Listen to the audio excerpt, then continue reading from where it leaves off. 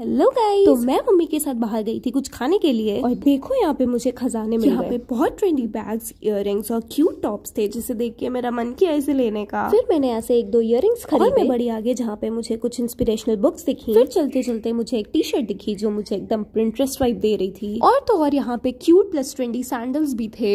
अब बताओ है ना ये खजाना? तो अब कोई सस्पेंस ना रखते हुए मैं आपको बता देती हूँ कि मैं हूँ कहाँ। तो ये जगह है बी की street market subscribe for more Bye.